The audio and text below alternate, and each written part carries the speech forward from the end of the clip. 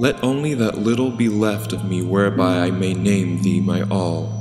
Let only that little be left of my will whereby I may feel thee on every side, and come to thee in everything, and offer to thee my love every moment.